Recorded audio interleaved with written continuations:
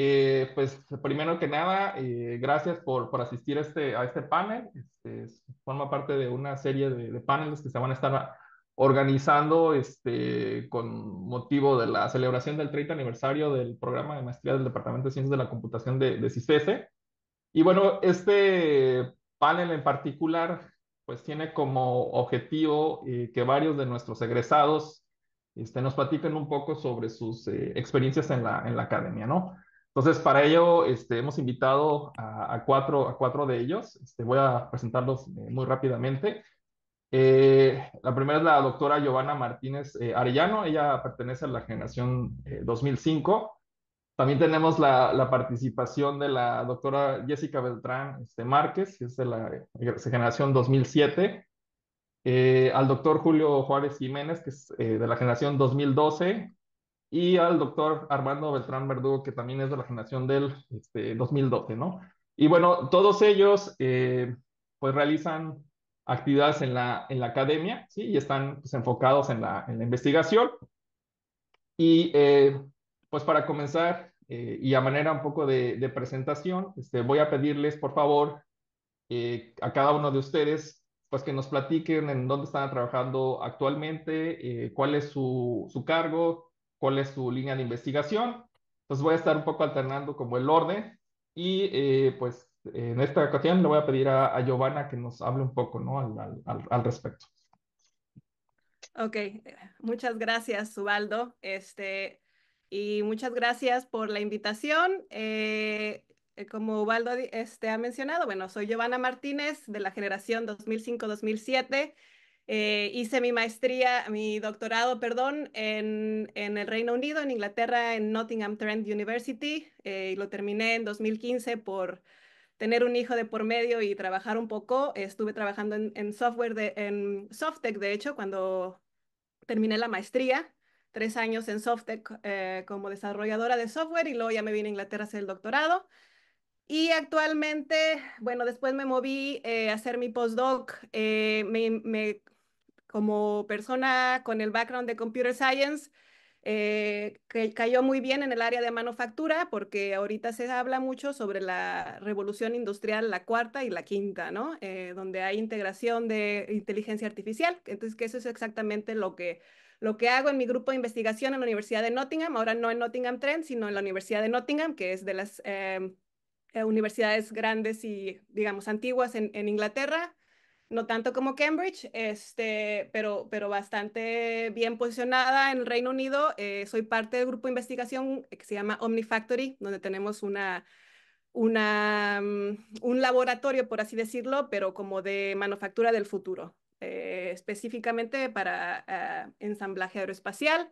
Y yo hago todo tipo de aplicaciones de inteligencia artificial, desde computer vision, eh, hacer cosas como monitoreo de procesos, control, eh, un poco de robótica, este, pero orientada, mucha de ella orientada ya sea a la industria aeroespacial o, o, o este, automotriz. Entonces también he trabajado con muchas compañías en, en, ese proceso también y actualmente tengo algo que se llama un fellowship, que es un, una eh, no sé cómo, cómo, cuál sea el, similar en México, pero es como un premio individual o un, una, este, donde yo tengo un fondo de tres años para hacer mi propio proyecto y al finalizar la, el fellowship transiciono como assistant professor de la universidad. Entonces, el próximo año estaré haciendo esa, esa eh, perdón, este año hago la transición y, y comienzo como ya maestro investigador en la universidad el próximo año.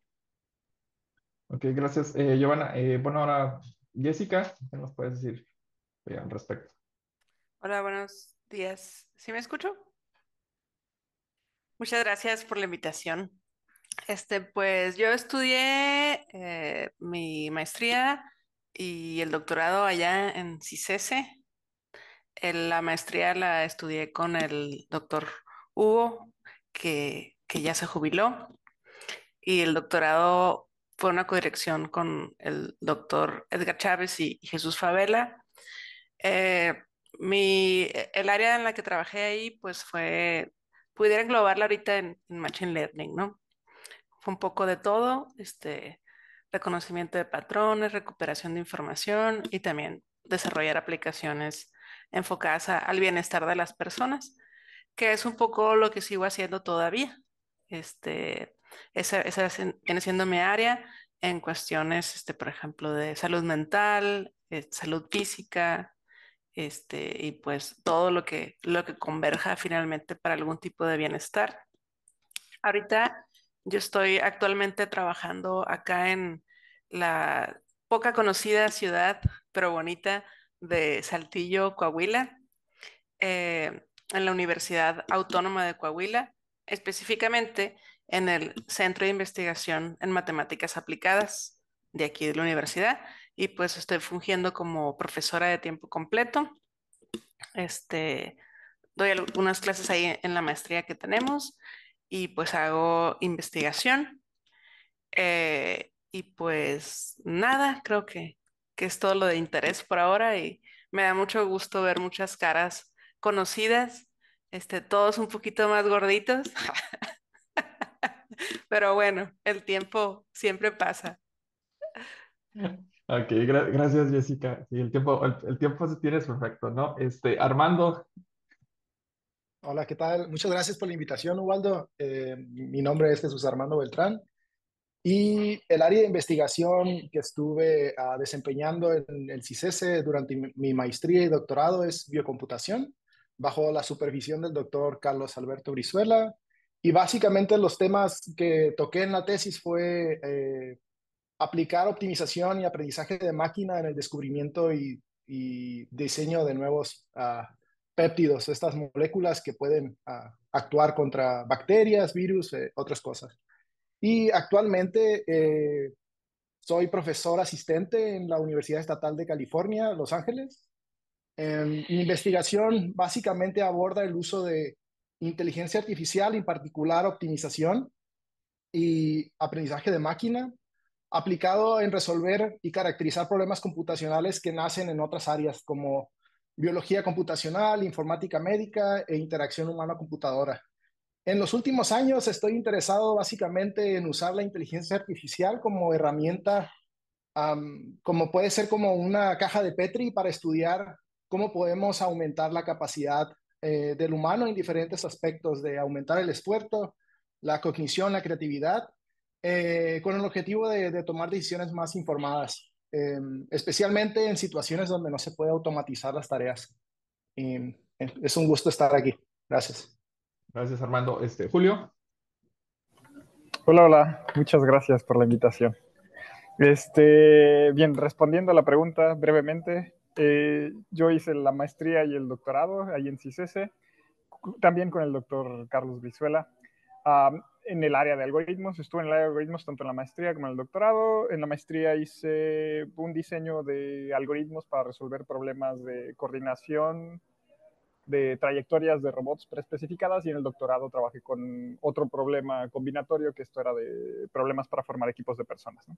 Entonces, del área del algoritmo, de, terminando el doctorado, del área de los algoritmos en, ¿qué será? Terminé en 2021, me parece. Ajá. Eh, ahorita estoy como, estoy en un postdoctorado, estoy como investigador postdoctoral en el Tecnológico de Monterrey, eh, trabajando con el doctor Hugo Trashima y el doctor Carlos Coello en un, en un proyecto de exploración y diseño de métodos para um, hiperheurísticas multiobjetivo. Ok, pues gracias Julio.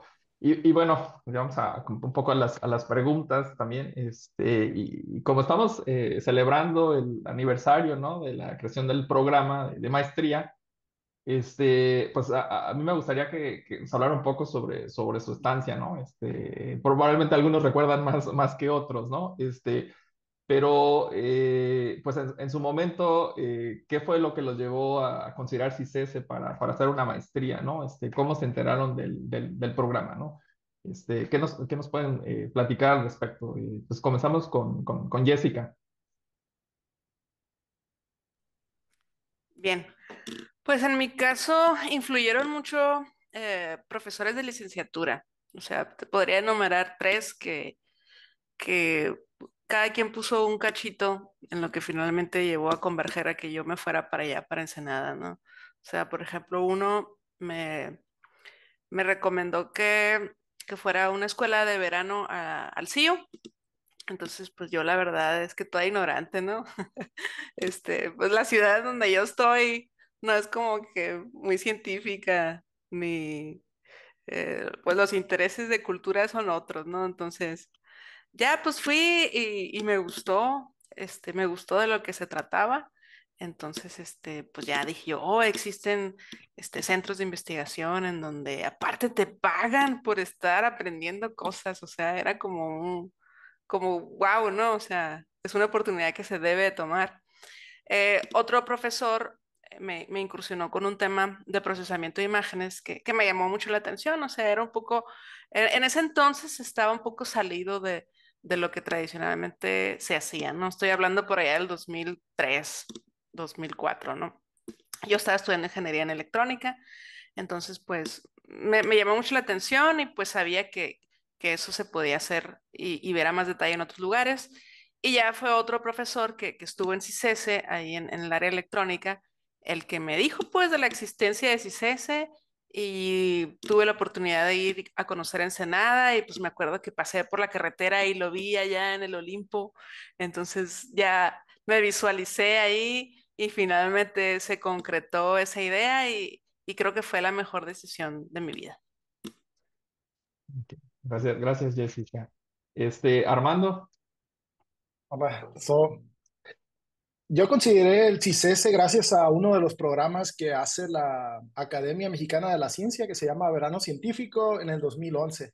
Fue la primera vez que conocí el CICESE como tal y dos áreas que eh, crearon como un pequeño taller el doctor Brizuela y el doctor Israel para exponer algunos problemas de biocomputación y cómputo biomolecular.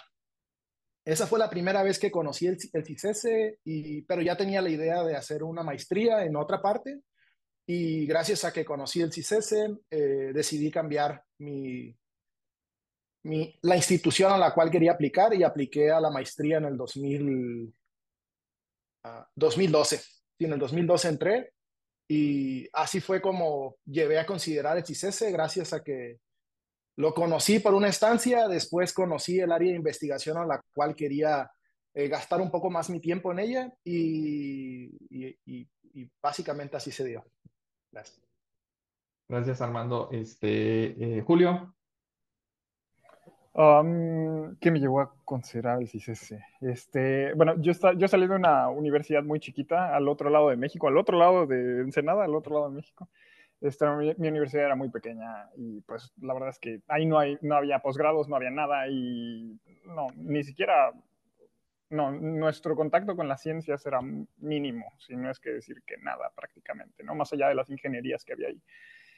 Este, pero bueno, eh, en ese entonces, nuestros profesores de licenciatura, varios de ellos, estaban haciendo un doctorado al mismo tiempo en CICESE. Tenían un programa especial como para ello. Yo la verdad es que desconozco los detalles, este, pero el punto es que estaban, al mismo tiempo que eran mis profesores, también estaban estudiando un doctorado en CICESE.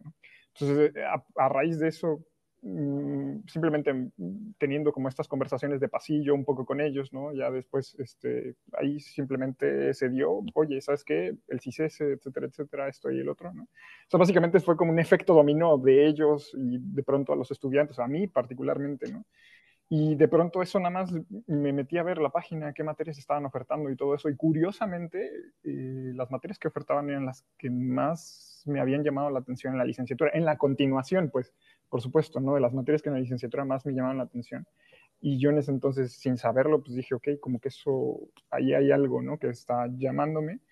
Y digo, también la beca, la verdad es que es un factor bastante importante, ¿no? Entonces se conjugaron todos esos factores, hice mi maleta, ¿no? Y ya, y el resto es historia, ¿no? Ok, gracias, Julio. Este, Giovanna. Bueno, mi historia es completamente distinta a las de ustedes, porque yo soy de Ensenada. Entonces yo crecí conociendo el CICESE. Este, de hecho, bueno, mi papá no hizo la, el doctorado en el CICESE, pero lo hizo en la UNAM, a un lado. Este, entonces, bueno, para mí yo crecí, crecí con, digamos, con CICESE ahí. Entonces, para mí fue algo muy natural porque viniendo de una familia académica, este, no tanto porque me forzaran a hacerlo ni nada, simplemente que a mí también me, me dio mucha curiosidad por explorar qué había más allá de lo que había aprendido en la universidad. Eh, esta idea de resolver problemas, eh, de tratar de hacer un impacto en la sociedad, eh, para mí era muy claro que, que, que quería hacer una, una, carrera académica y este, y así fue que, bueno, digamos, para mí en ese sentido fue más sencillo porque no, no me cambié de ciudad, seguí con mi familia y, bueno, si cese de alguna manera era un poco familiar, con, este, me sentía yo un poco familiarizada con. Ok, eh, gracias. Y bueno, eh, ¿cómo, ¿cómo calificarían ustedes su, su, experiencia aquí en el Departamento de Ciencias de la Computación y en CICES en, en general, ¿no? Este, ya que están afuera, ¿no? Y, y, bueno, hay, hay, libertad de, de, de, poder expresar su opinión, ¿no? Entonces, eh, Armando, este, ¿cuál sería tu opinión aquí? Uh, yo la calificaría la experiencia en general de la maestría solamente eh, como casi excelente, como positiva, porque siempre hay algo que mejorar. Uh, principal de, debido a que el, las asignaturas que ofrece el CICESE, la verdad, eh, son muy buenas para ofrecerte las bases sólidas de ciencia de la computación y eso a su vez para construirte las habilidades para darte independencia, para investigar otros temas tal vez más de vanguardia, pero las bases son muy sólidas. Entonces creo que el ambiente académico es muy bueno, los profesores son eh, excelentes ahí y, y, la otra cosa es que en el CICES se, presta mucho a hacer la investigación multidisciplinaria dado a otros departamentos que existen en, en el CICES. Uh, creo que algunos aspectos por mejorar, como, como todo revisor 2, eh, creo que es la parte de la difusión del posgrado, dado que es buen programa, pero hace falta que más personas fuera del norte del país conozcan que hay otras oportunidades eh, aparte del centro del país. Y la otra es, eh, después de que se producen estos buenos estudiantes, porque el, el, programa, la verdad, creo que cuando platico con mis compañeros de maestría o veo otros compañeros de maestría, veo que tienen buena, eh, buen trabajo eh, en general. Pero el problema es que siento que ese esfuerzo falta ligarse con la oferta de empleo por parte de, de, de, del CICESE. En los últimos años, por ejemplo, si observo eh, las ofertas de trabajo, es la misma acerca de desarrollador eh, eh, web o, algo así de una empresa de Tijuana. Entonces creo que eh, vale la pena como eh, garantizar esa parte de hacer la transición más, más suave de, de parte de eh, lo form, formaron al estudiante y crearon un buen estudiante, ahora darle estas oportunidades para que valga la pena esa parte es, es, es todo por, por ahora. Gra eh, gracias, eh, Armando. Eh, Julio. Em, sí, mi experiencia en general fue bastante, bastante buena. Fue transformadora realmente, ¿no? Coincido con muchos de los puntos que dice Armando. No, no voy a repetirlos, pero la verdad es que coincido con toda la parte positiva. La verdad es que bastante, bastante bien. En general, resaltaría la parte del algunas de las habilidades que me quedan particularmente de la maestría, o bueno, empezando de la maestría, son semillas, ¿no? Que después ya en el doctorado terminas de, de terminan de germinar, pero son semillas, ¿no? Eh, la parte del pensamiento crítico, diría yo, o sea, eso está bastante bien. La parte de la escritura formal, um, este, la presentación, la comunicación de las ideas, ¿no? Creo que eso es bastante, bastante importante y hacen mucho énfasis en ello, ya sea de forma práctica o simplemente te lo dicen, ¿no? Todo el tiempo. Y ah, creo que algo muy bueno y muy interesante, nos enseñan bastante cómo modelar problemas, ¿no? Te expresan un problema de forma verbal o está escrito en prosa, ¿no? Y tú cómo ya lo modelas formalmente, matemáticamente, la verdad es que eso bastante, bastante bien, ¿no? Y te cambia un poquito la forma en la que piensas, te da un marco de pensamiento, vaya, ¿no? Que si antes no lo traías, ahora ya sales con ello, ¿no? Y digamos, de las áreas de oportunidad creo que coincido perfectamente también con, con Armando, la parte de la transición, tal vez saliendo de la maestría, ¿no?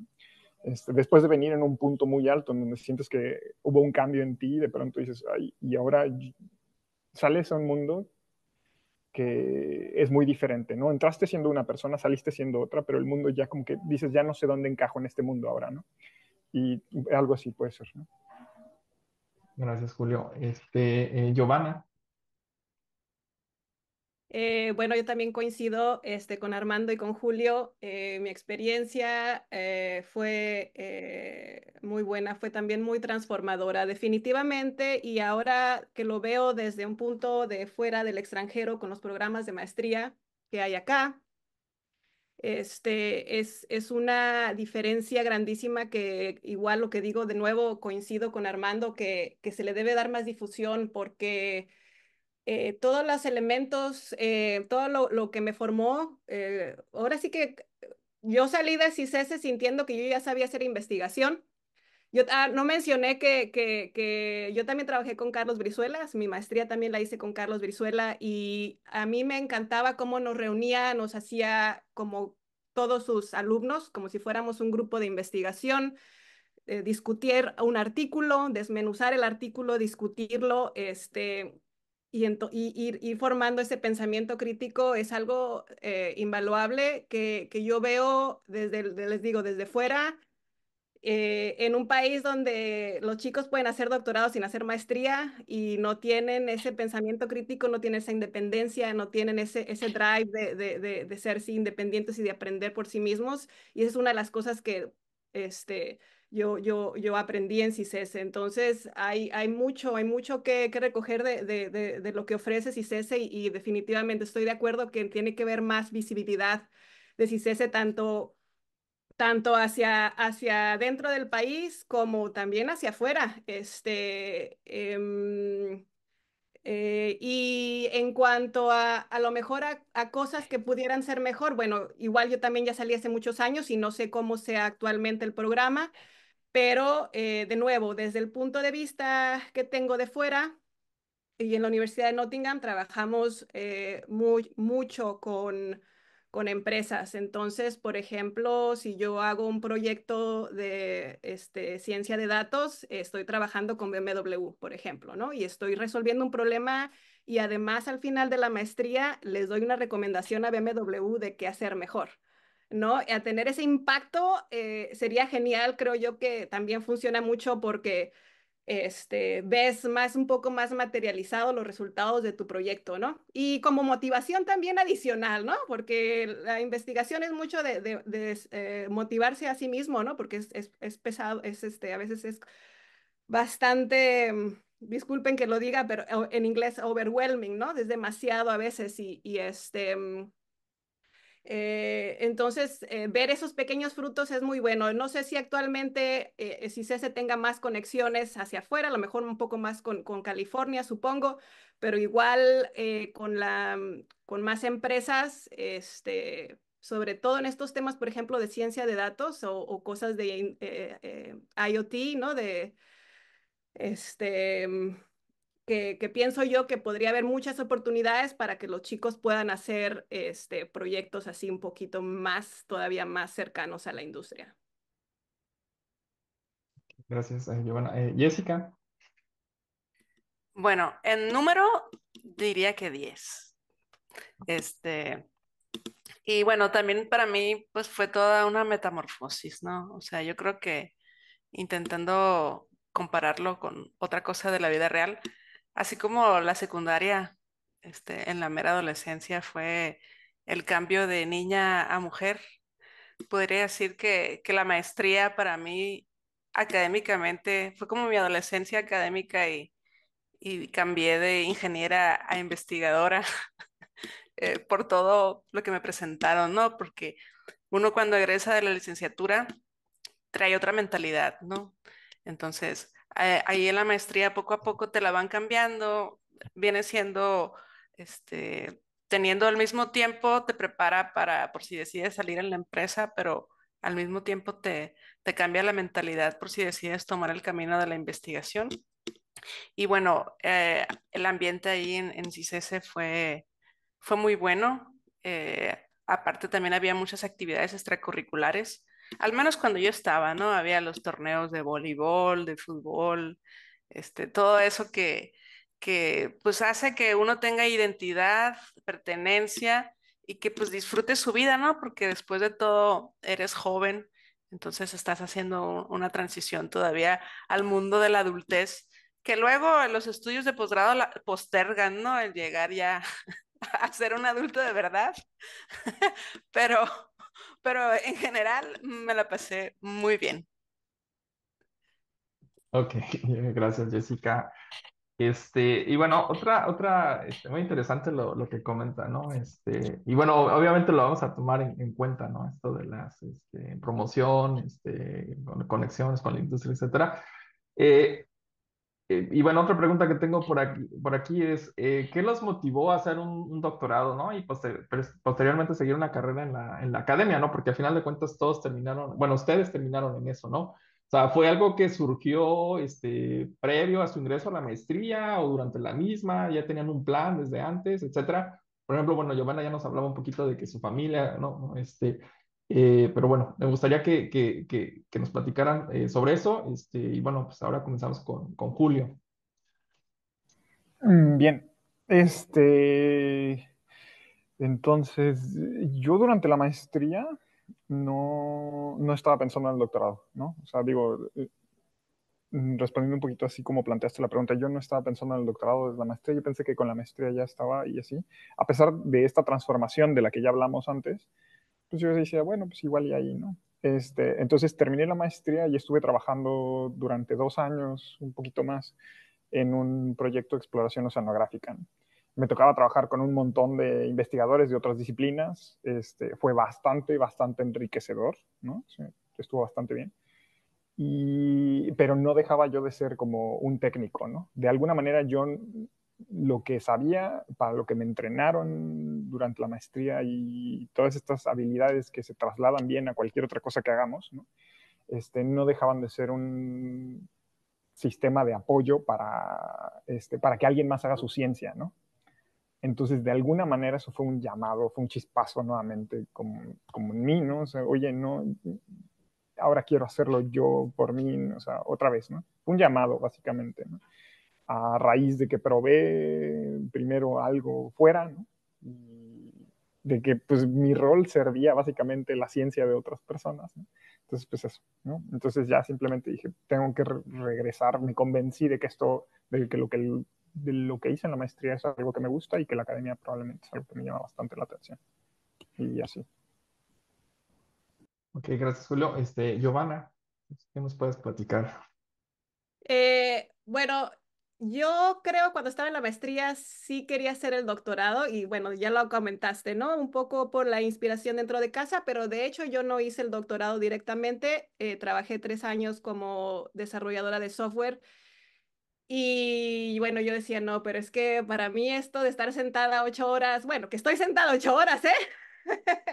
Haciendo investigación. Bueno, no estoy sentada ocho horas, pero bueno, nuestra herramienta de trabajo, obviamente, ¿no? La computadora la, mayor parte del tiempo, pero bueno, lo que me refería es que estar como trabajando como desarrollador, desarrolladora de software, no, en ese momento, o sea, lo, lo, lo, lo, viví y no me, no me emocionaba, no me causaba esa claro que había que resolver problemas, pero eran errores de código, ¿no? Y, no sentía que estuviera haciendo algo, digamos, para mí que fuera de valor, ¿no? Será para valor para el dueño del software, pero digamos, yo no sentía que yo tuviera un impacto este, positivo y, a mí eso fue lo que, este, lo que me, me jaló a, seguir, no, yo me tengo que regresar y, hacer el, doctorado, ¿no? Y, bueno, así fue que retomé el camino. Ok, gracias. Este, eh, Jessica. Bien, pues mira, yo eh, desde niña no sabía bien, o sea, no, no, no sabía de la existencia de los doctores aparte de medicina, ¿no? O sea, yo me acuerdo que cuando estaba en la prepa, en la carrera, veía Friends y pues no, como que había cosas que no entendía porque, por ejemplo, retomé ver Friends hace poco y hay una broma recurrente al personaje este que se llama Ross, porque pues él es doctor, pero no es doctor en medicina. Entonces, pues siempre le hacen broma de que dicen, no, Ross, no digas que eres doctor, no eres un doctor de verdad. Entonces, realmente yo, yo no sabía que podía haber doctores eh, aparte de medicina, ¿no? Eso lo conocí precisamente ahí en, en CICES, ¿no? Durante mis, mis estudios de la maestría. Y pues nuevamente, ¿no? Viene lo de, lo de así casi como meme, ¿no? Así de, me estás diciendo que, que se me puede ocurrir un problema que resolver y, y me van a dar la oportunidad de trabajar cuatro años mientras me están pagando. Y aparte voy a salir con un título que me va a abrir las oportunidades en el mundo laboral. O sea, es como no-brainer, ¿no? Es una, eh, es no-brainer. Y pues, eh, pues así, ese fue el brinco. Ok, gracias, gracias Jessica. Este, eh, Armando.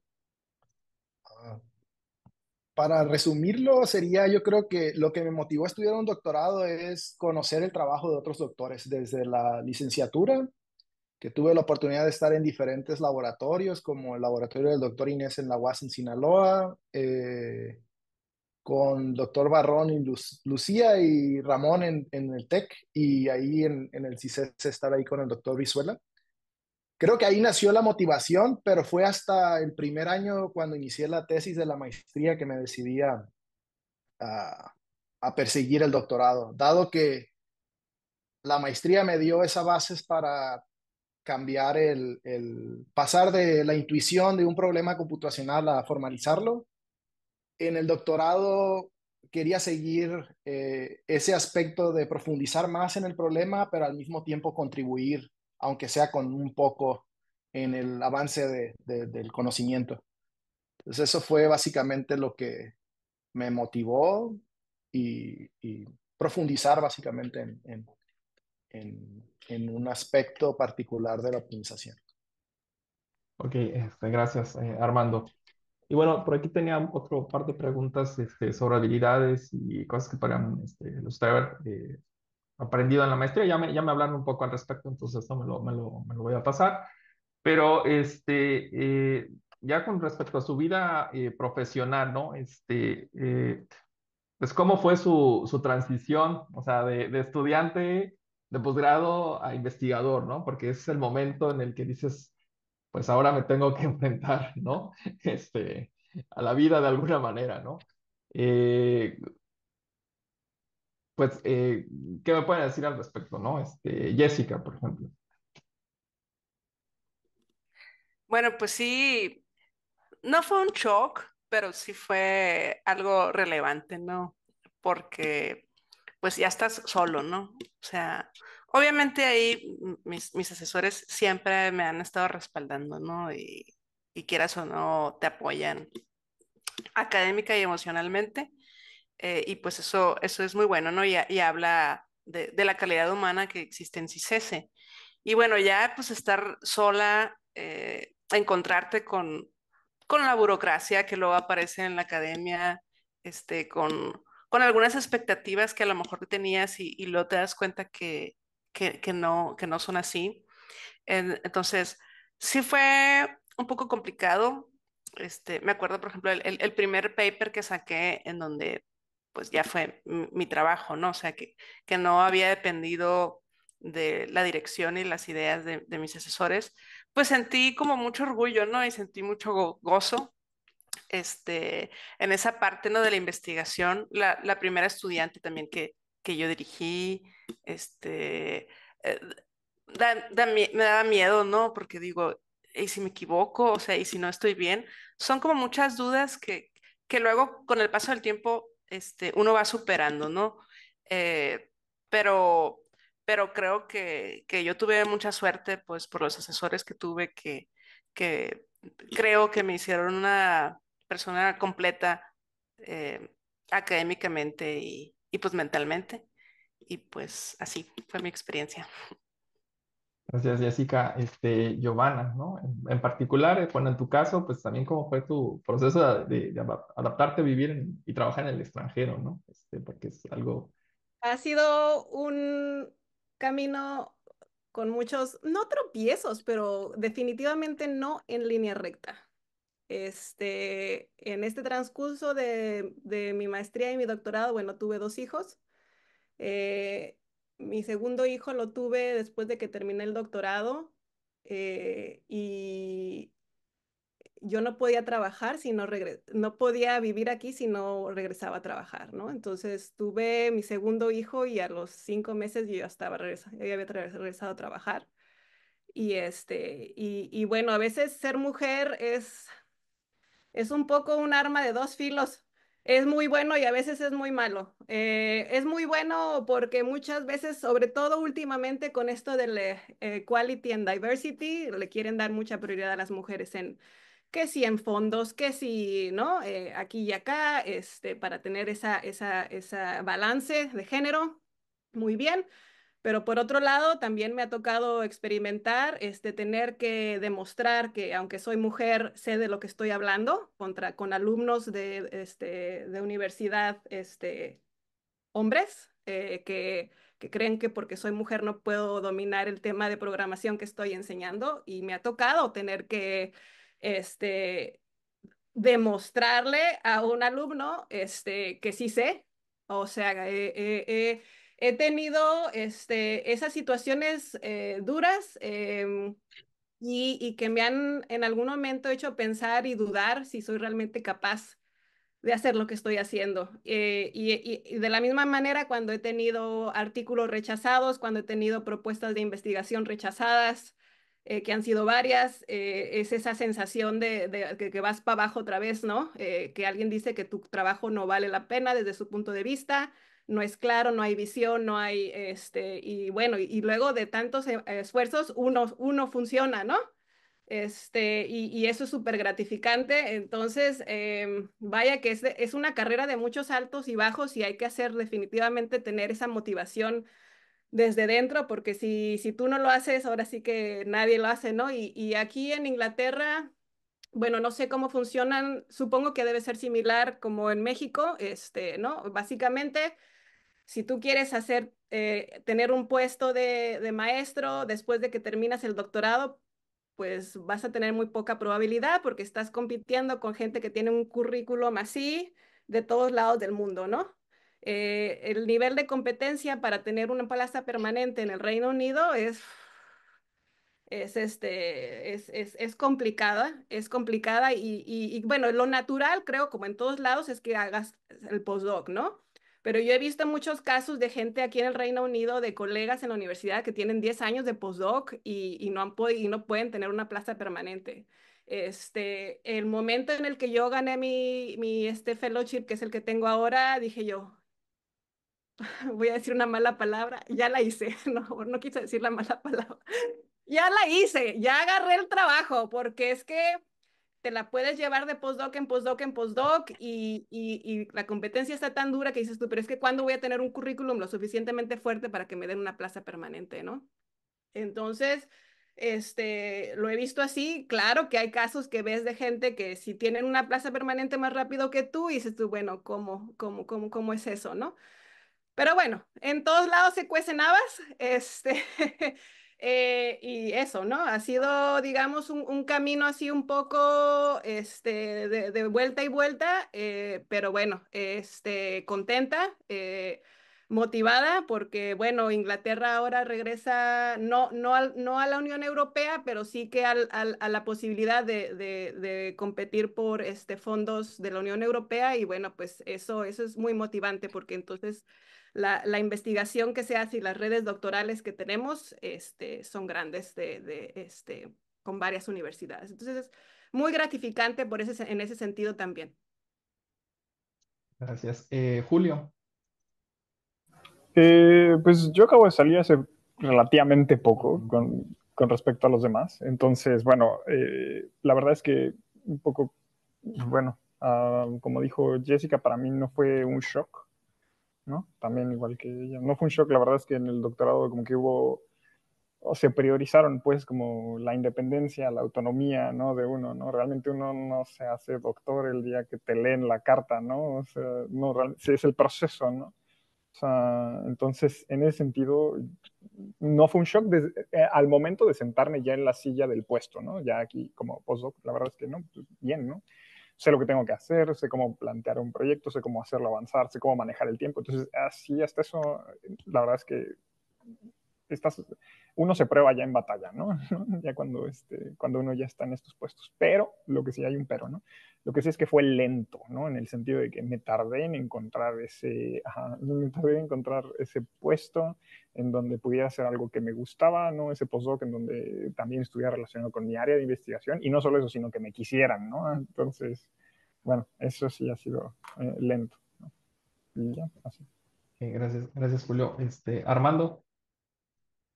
Ah, pues quisiera decir que es igual de fácil que moverse de la maestría al, al, doctorado, pero en realidad mi camino es, no fue lineal, estuvo lleno de obstáculos y con un poco de suerte, se puede decir. Eh, yo creo que lo caracterizaría como incertidumbre profesional, dado que sales y tú crees que tienes todas las habilidades, al menos de independencia de investigación, pero hay otros factores que también son igual de importantes. Y al salir quise, quise aplicar algunos eh, centros de investigación y universidades en México y creo que ninguna me, me contestó, ¿no? Después se vino la pandemia y le agregamos ahí un poco más. Pero afortunadamente en la Universidad de California, la doctora Gillian me ofreció un, un, un postdoc ahí y creo que a pesar de todos esos obstáculos, llegué ahí y me ofrecieron recursos y uh, un lugar ahí para poder desarrollar mi área de investigación. Creo que eso ayudó mucho a donde estoy ahora en la Universidad Estatal de California como profesor asistente. Pero ese camino tomó, salí en el, en el verano del 2019 y ahorita estamos en, en el verano del 2024, cinco años llegar aquí. Y, es, básicamente, pero creo que e, eso es bueno, o sea, aprender de las, de todos estos eh, obstáculos. Por eso ahí sugiero que si te vas a dedicar a la academia, tienes que ser perseverante y flexible sobre todo. Y ser paciente, porque como dice Julio, es un proceso eh, un poco más lento, se puede decir. Eh, sería mi, mi, comentario. Gracias, gracias Armando. Y bueno, este, eh, pues desde, desde su perspectiva, este, eh, consideran que, que, en este momento este, ya tienen condiciones idóneas para desempeñarse satisfactoriamente. Entiendo que están en diferentes etapas de, de su carrera, ¿no? Pero, pero digamos que este, se sienten satisfechos con lo que, que tienen ahora. Este, no sé, pues podemos comenzar con, con Jessica. Sí, mira, justo creo que hasta muy recientemente te puedo decir que sí estoy satisfecha, ¿no? Y, la cuestión es de que, de que eso es, engloba un poco más de, del doctorado y de la academia, ¿no? Sino que engloba muchas cosas personales, se puede decir también. Entonces, este, mm, hasta hace poco te pudiera decir que estoy haciendo las paces conmigo misma, este, que, que el, el escenario se movió también con un poco de suerte para estar aquí, para, para tener tranquilidad, este, que, que yo creo que es, es, una de mis metas, ¿no? Tener tranquilidad. Entonces, eh, dado eso, dado, dado ese reciente sentimiento de satisfacción, te puedo decir que, que tengo las condiciones para, para hacer más, ahora sí, académicamente.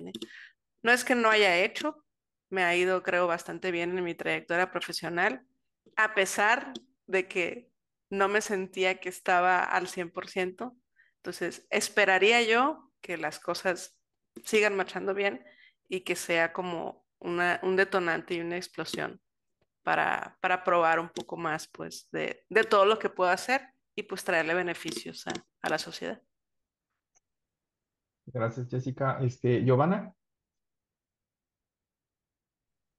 Este, yo creo que sí, yo, uh, bueno, no me soné, no soné convencida, ¿verdad? Este, yo como todavía estoy como en una transición, eh, fíjate, a pesar de que ya tengo 10 años que terminé mi doctorado. ¿Tu nombre es eh, Alicia? Alicia. Alicia. Alicia Gali. Gali. Alguien por ahí tiene su micrófono. Gracias. ya tres meses. Ay, sí, no todo se trata sobre ti, Canelita. Alguien tiene el micrófono, perdón. Sí. A ver si lo puedo Eh, Juan. Francisco tiene por ahí su Ah, bueno que le micrófono. gustó. Ahora les traigo más.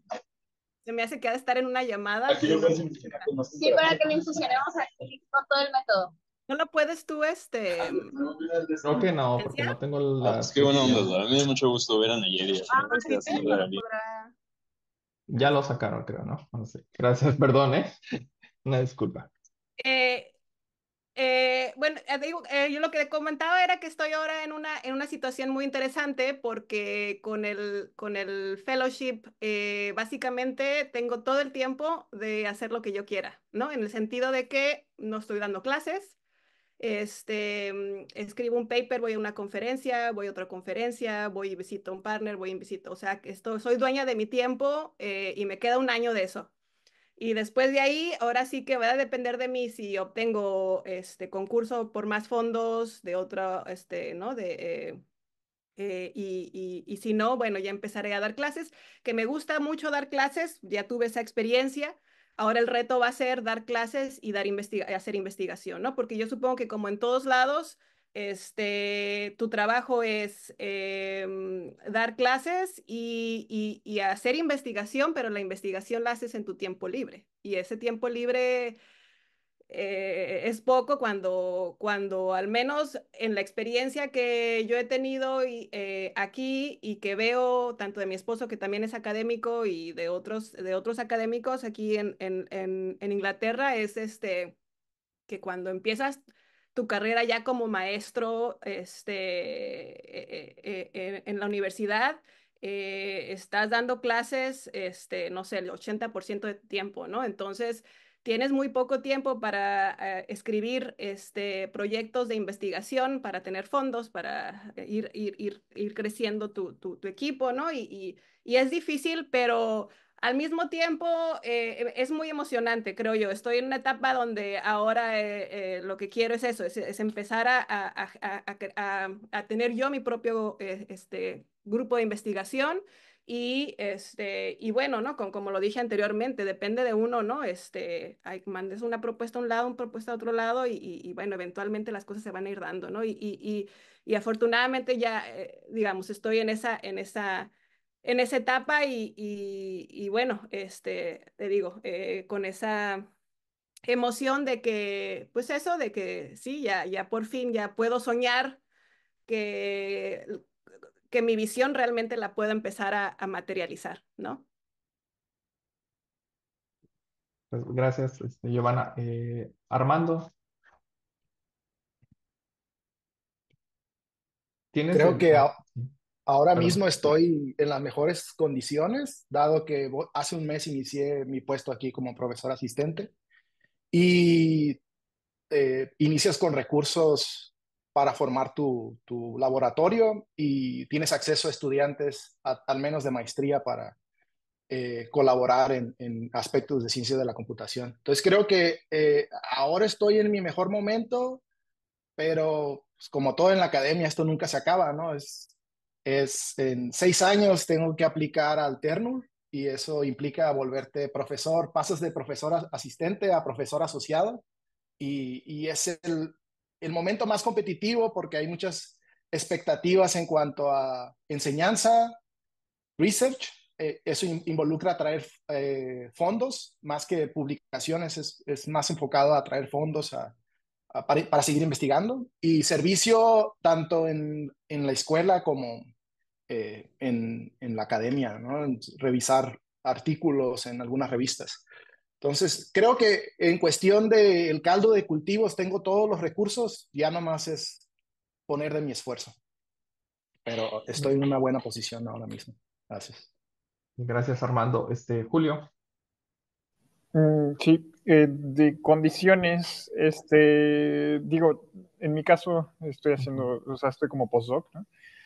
Entonces, bueno, por un lado, meramente como postdoc, creo que tengo muy buenas condiciones. Este, el ambiente está bien, eh, hay estudiantes, el tema da para, da para hacer investigación.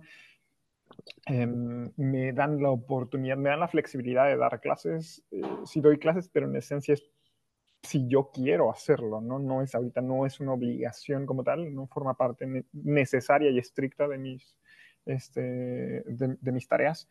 Em, pero bueno, lo cierto también aquí es que dentro de todo este ambiente y este ecosistema, al final de cuentas, el proyecto no es necesariamente mío. De alguna manera también estás trabajando el proyecto a alguien más. No es mi a pesar de que me interesa mucho y sí tiene que ver con mi área de investigación, no es necesariamente una línea de investigación a la que puedo llamar propia, ¿no? Entonces ahí es como es la otra parte, ¿no? Es la contraparte de todo eso.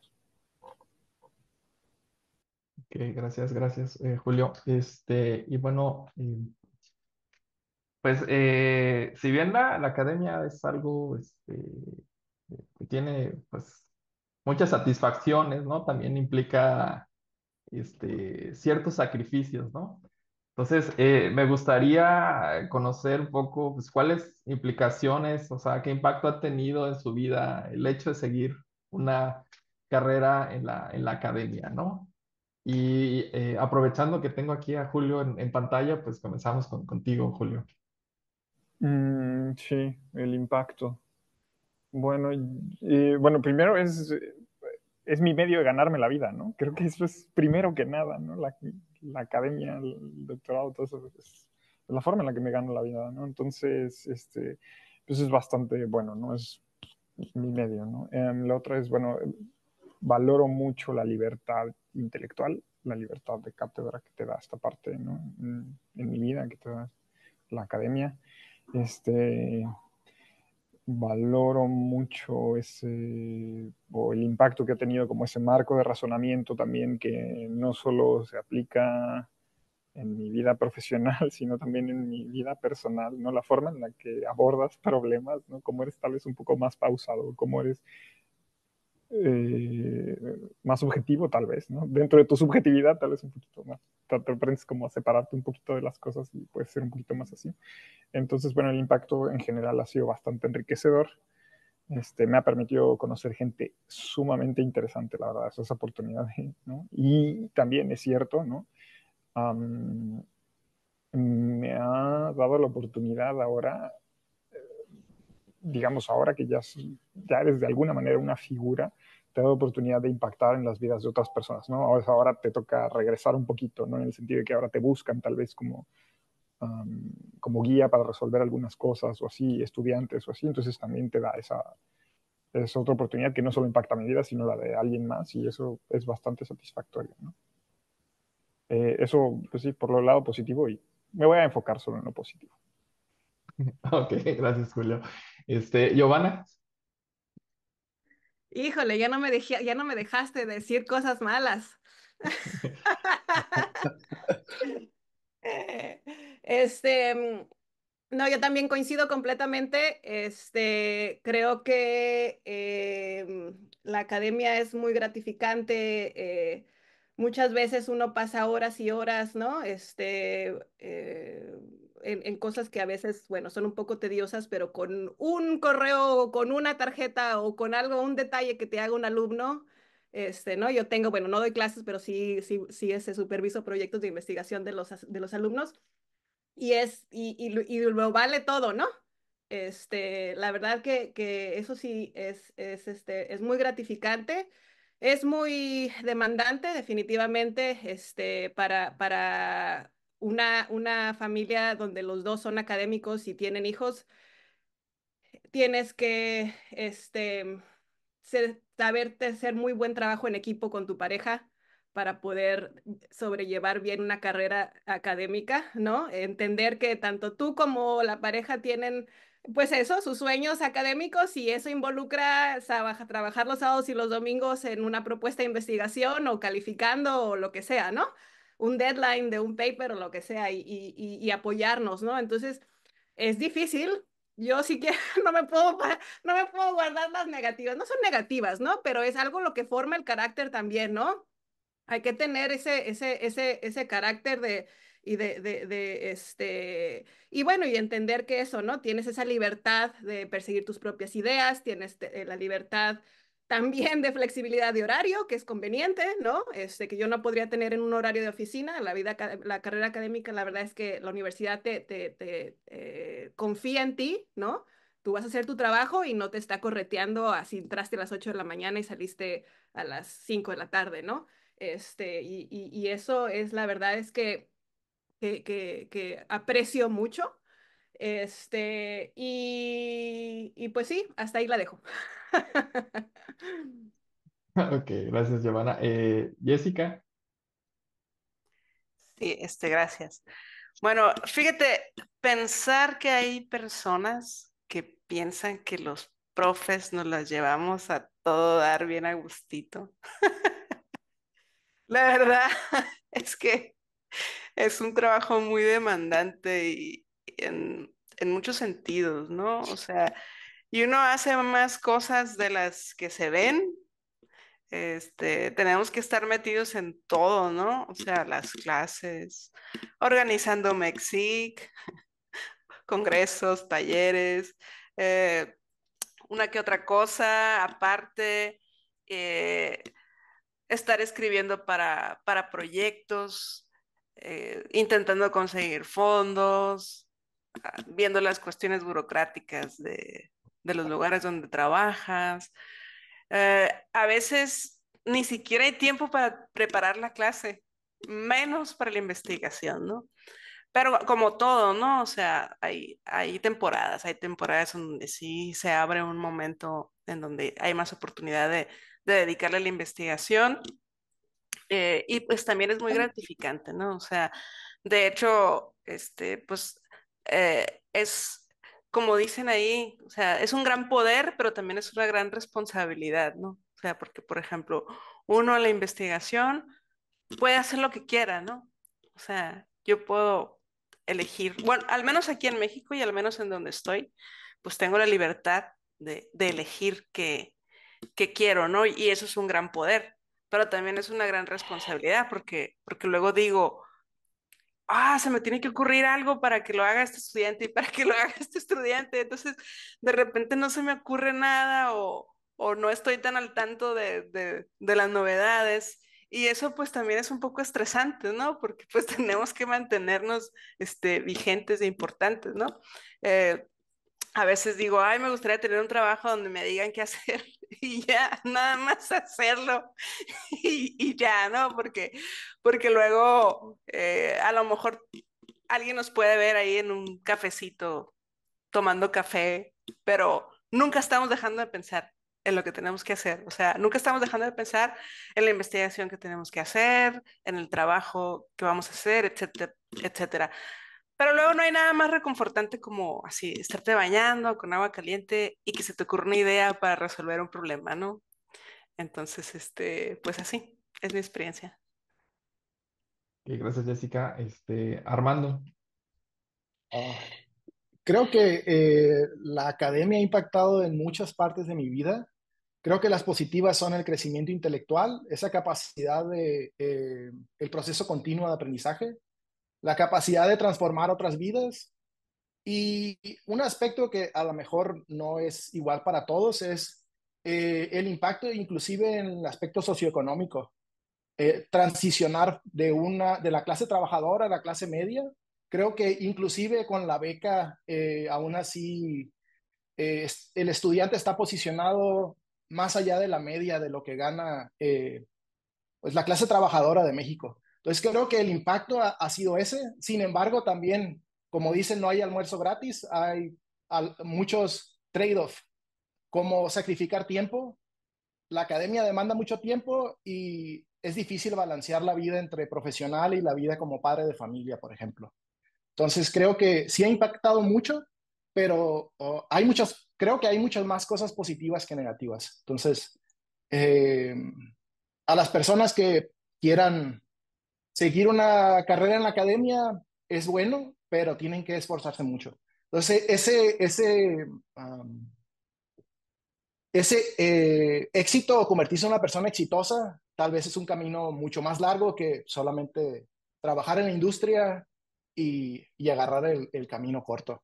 Pero creo que al mismo tiempo es gratificante. Entonces, creo que es un, en promedio el impacto es positivo en mi vida.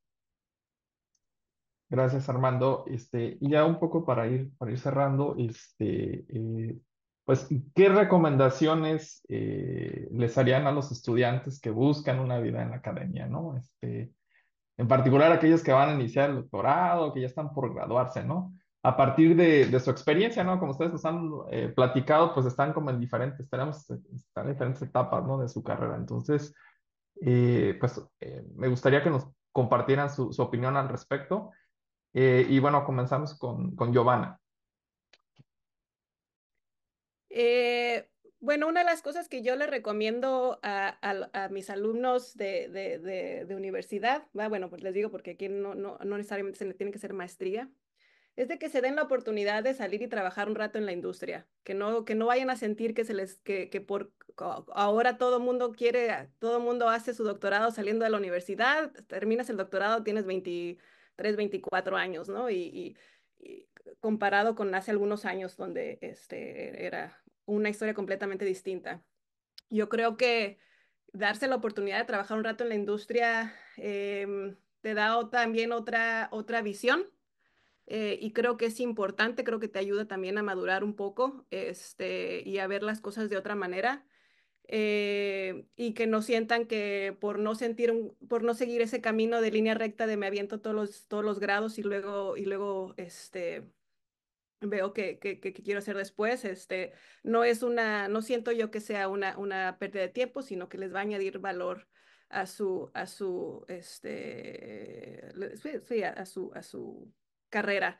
Y este, y bueno, lo otro que, que que hay que, este, eh, que, es, que es una carrera difícil, pero este, que esté en uno mismo, que si uno se, se lo, se lo este, plantea, este, por supuesto que puedes lograr una carrera académica exitosa. Gracias, Giovanna. Este, Jessica.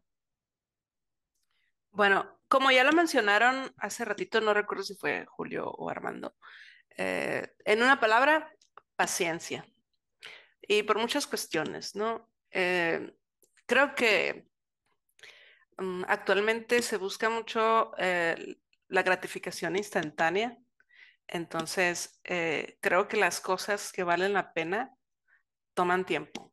Entonces, yo diría, sean pacientes en muchos aspectos, ya lo mencionaban hace rato también sobre paciencia para, para la parte laboral e incluso también en, su desempeño académico, ahorita en este momento como estudiantes, o sea, que tengan paciencia para leer un artículo, que tengan paciencia para, al momento de escribir, de querer comunicar los resultados, eh, que lo hagan de forma paciente, porque luego escriben así, ah, lo primero que se les viene en la cabeza y ya, o sea, piensen que ya está bien. Entonces, no, o sea, tienen que revisarlo, tienen que ser pacientes o, o a veces, no sé, piensan que en dos días ya deberían de haber terminado de escribir un artículo. Eh, y yo a veces que, que, le digo a alguien que, que a veces mi, mi avance así en el día fue un párrafo, ¿no? Porque se tiene que hacer con, con mucha paciencia para que quede bien, ¿no? Entonces, eh, paciencia, e incluso en la vida personal, creo que es el consejo que yo puedo dar. gracias, Jessica. Armando.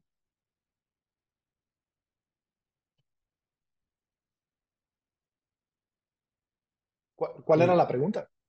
Eh, ¿qué, recomendaciones les, les, darías a los estudiantes ¿no? que buscan una vida en la, en la academia? ¿no? En el aspecto de trabajo, creo que eh, mi recomendación es no se esperen a tener un, un, resultado perfecto, sino busquen colaborar tan pronto como tengan el, el, problema de investigación. Eso les va a ayudar primero en ver qué, qué hacen el resto de las personas, a formar tu red de trabajo y a avanzar más rápido. Por parte de socializar, es importante mantener la comunidad entre los compañeros. Creo que es una fuente de motivación si tú haces buena comunidad con tu generación, creo que eh, te motiva a ir diario al, laboratorio. Al menos así me pasó a mí. Y em, creo que serían las dos principales. Traten de, buscar tan pronto como sea posible colaborar en lugar de esforzarse demasiado porque esta parte de la meritocracia tal vez no, no es el camino, sino es más combinar un poco de todo, meter eh, como que las oportunidades en diferente bandeja para, para alcanzar o darle más oportunidad al éxito. Creo que ese sería mi, mi takeaway. Gracias, Armando. Este, Julio.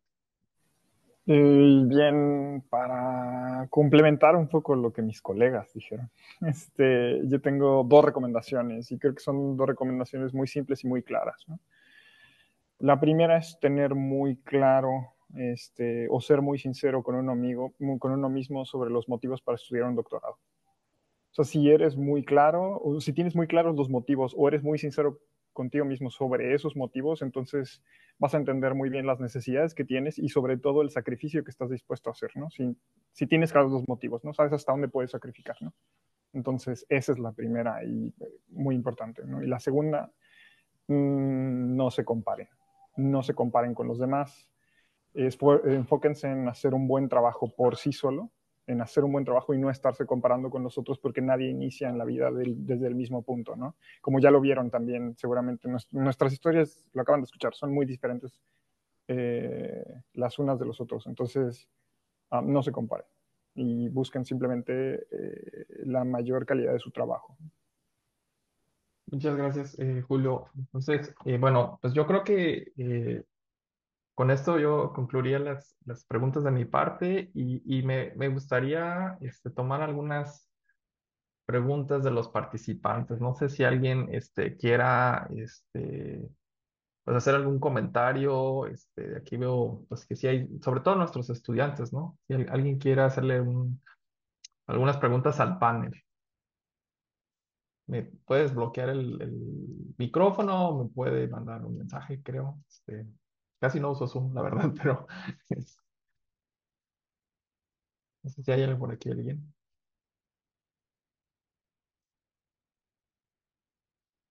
Creo que no. O bueno, no sé si no me están, no sé cómo. Alguien puede levantar la manita si quiere. Sí, también, ajá, porque veo que sí son varios. A ver, aquí, este, creo que me llegó uno de Andrés. No sé. Espero que no me parece ninguno.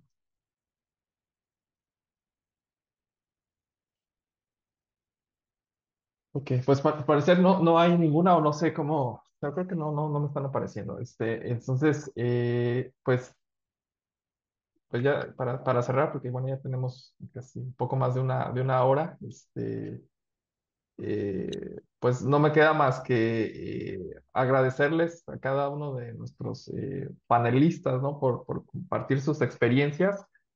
Y de hecho, pues la idea era tener como pues, opiniones diferentes, este, por eso también un poco la, la, la selección, ¿no? De personas que están en diferentes momentos de su, de su carrera, ¿no? Este, y, y bueno, que los estudiantes, nuestros estudiantes ahora del, del programa, pues tomen nota, ¿no? De lo que, que han vivido este, eh, ustedes y que lo, lo, puedan, este, ah, perdón, aquí me dice que alguien tiene una pregunta. A ver, Miguel Ángel. Hola, este, ¿sí me escuchan? ¿Ya aprendí el micro? Sí, sí, sí, te escuchamos. Ah, es que este, había prendido el micro, pero como no hay buen internet, se me fue, ya no, ya no, este, no puede entrar. Este, pues muchas gracias por eh, Creo que se cortó, ¿verdad? Ahora sí lo perdimos, sí. Sí. Hola, Miguel Ángel. O si no, por mensaje, digo, sí. A ver, ya, ya escuché ahí lo que alguien le está diciendo. Si no, si no funciona el micrófono, pues por mensaje, ¿no? A ver, aquí dice, hola, ya regresé. Ok. Ok, primero muchas gracias. Este, ok. Por compartir sus consejos. Estoy leyendo aquí lo que ponen, ¿no? Este. Y bueno, no sé cuál sería la, la pregunta.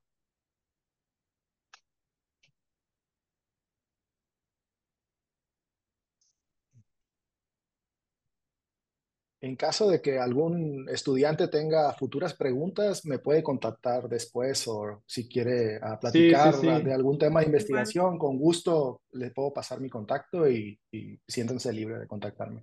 Sí, gracias, gracias Armando. Igual, sí lo mismo, igual también eh, aprovecho para hacer el comercial. Este, si a alguien le interesa este, conocer un poquito más sobre Omnifactory y las aplicaciones de inteligencia artificial en, en manufactura, este, tenemos muchas colaboraciones con la Universidad de Cambridge. Este, entonces hay muchas oportunidades este, para hacer un doctorado aquí. em, me pueden contactar sin problema.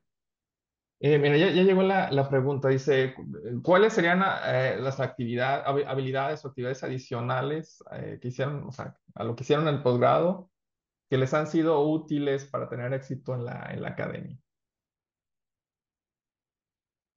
No sé, este, eh, ¿quién le gustaría responder? Ahí, ahí, ahí yo, yo puedo hacer una rápida, que es una con la que todavía batallo muchísimo. Es, a pesar de que puedo expresar mis ideas en público cuando lo hablo, eh, sintetizarlas de manera efectiva es súper difícil. O sea, si te dicen, tengo que entender tu visión, tu problema, cómo lo vas a hacer en bien poquitas palabras, eh, es, es, es difícil. Es algo que a mí todavía me cuesta trabajo y que, y, que, y que se va desarrollando con la práctica de escribir, de escribir, de escribir. Es una de las cosas que me ha costado trabajo desarrollar en mi experiencia. Ok, gracias. ¿Al- ¿Alguien más quisiera este, incluir un comentario adicional? Uh, tal vez platicar lo que está investigando cada quien uh, su, con sus compañeros, simplemente para conocer qué hace el otro, pero al mismo tiempo como para expandir a qué otros posibles problemas puedes aplicar en tu área de conocimiento. Eso es muy importante. Creo que eh, mantenerse abierto a las oportunidades y, y relacionarse un poco más con, con otros investigadores. Ok, este, bueno, no sé si Julio y Jessica tengan algún comentario. Eh, sí, per- perdón, voy a... Si quieres, Julio, ajá, sí, a- adelante. sí, ok. Este, primero, ten muy claro eh, cuál es tu definición de éxito, ¿no? Tu definición no puede ser la misma, no necesariamente la misma que la mía y así, etcétera, etcétera. O sea, hay que tener muy claros cuál es la definición de éxito y en general no adoptar la definición de éxito de alguien más, ¿no? Como cuando dices, bueno, lo del éxito, eso por la parte de éxito en la academia, ¿no? Um, por otro lado, las, este, actividades o habilidades adicionales, etcétera, etcétera, yo diría de manera muy general que sea algo que te saque eh, de tu área de confort, ¿no? Por ejemplo, puede ser algo de teatro, por ejemplo, si no estabas en eso, si tienes como pánico escénico, de acuerdo, algo que, te saque de tu área de confort. Y estoy seguro de que en el proceso o en el camino vas a encontrar algo que se puede trasladar a tu, este, a tu ámbito académico. Algo así, y de forma general. Gracias, Julio. Jessica, no sé si quieres eh, comentar algo. Sí, bueno, este, estaba leyendo otra vez la, la pregunta, ¿no? Porque dice que actividades adicionales a lo del Adicionales. posgrado, ¿no? Entonces, pues no sé, mira, eh, yo cuando estaba en la secundaria participaba mucho en oratoria de declamación, como para, eso me ayudó un poco para hablar en público y quitar un poco la vergüenza y eso. Eh, puedo decir que eso fue este, muy útil. Y otra cosa que recomendaría mucho es la habilidad de aprender a leer cosas este, que, que no es precisamente lo de la academia, pero te ayudan a ver a nivel macro qué está pasando en el mundo, ¿no? Y qué cosas son necesarias. Leer, ver documentales, este, ese tipo de cosas, ponle que, que no son precisamente lo que vimos ahí en el posgrado, pero que son muy útiles para formarnos un mapa mental de cómo está el mundo y de qué se necesita. Gracias, Jessica. Este, y pues yo creo que ya, ya, ya cerramos este, la, la sesión. Eh, y bueno, les decía, pues eh, quería eh, agradecerles su, su participación. Este, siempre, crean o no, este, aquí a, a los profesores del posgrado les da mucho gusto saber este, en qué andan sus estudiantes, ¿no? Porque es una forma como de, pues también es satisfacción, ¿no? Es, ah, mira, él estuvo aquí, hizo esto, está acá, es una persona exitosa, etcétera. Entonces, este, pues eh, les agradezco que, que hayan este, pues, decidido participar. El tiempo, yo sé que luego ya tienen pues muchas ocupaciones. Eh, y pues eh, les haremos eh, llegar por ahí una constancia a cada uno de ustedes, los voy a enviar por correo electrónico. De hecho, ya pusieron aquí sus datos. Este, igual, si no, si alguien no los toma aquí, pues me puede contactar a mí y yo les envío los, los datos de, de ustedes para que este, pues ahí les, les hagan las preguntas si a alguien este, le da pena también preguntar, ¿no? Este, y, y pues sería todo. Eh, un gusto saludarlos. Este, en el caso de Giovanna, pues un gusto conocerte. No, no me había tocado interactuar contigo. Con, a, los demás, pues sí, ya en algún momento este, aquí del, del, de su estancia en, en el CISES me, me, tocó este, compartir con ellos. Y pues eh, nada, pues aquí lo, aquí lo dejamos. Este, muchísimas gracias a todos. Gracias a los participantes por asistir a la, a la sesión. ¿Okay? Gracias por la invitación. Buen día. Saludos. Gracias a todos. Muchas gracias. Saludos a todos. Buen día. Bye. Hasta luego.